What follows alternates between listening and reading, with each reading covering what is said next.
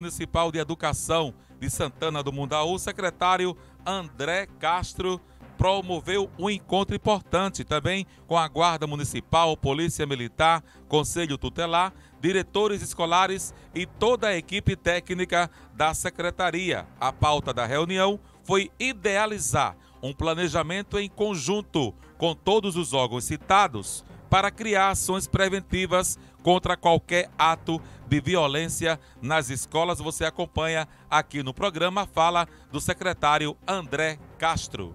Acabamos de realizar uma importante reunião aqui em nosso município, com a presença da Guarda Municipal, da Polícia Militar, do Conselho Tutelar, das diretoras e diretores da nossa rede de ensino e de toda a equipe da educação para debater e discutir, infelizmente, um assunto muito importante que vem assombrando as escolas de todo o nosso Brasil, e essa violência covarde que tem entrado nas nossas escolas. Mas aqui em Santana do Mundaú, vamos enfrentar esse problema com muito investimento, com muita informação, com muito diálogo, não só com nossa equipe técnica, mas com toda a nossa população.